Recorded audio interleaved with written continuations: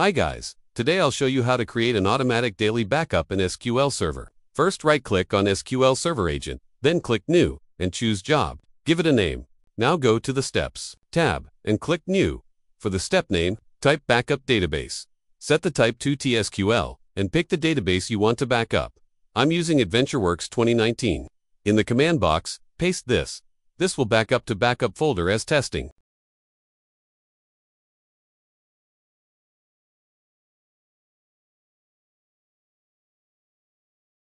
Next, go to the Schedules tab. Click New and give it a name. I'll call it Daily Data Backup again. Set it to run daily at 10 p.m., starting from July 27, 2025.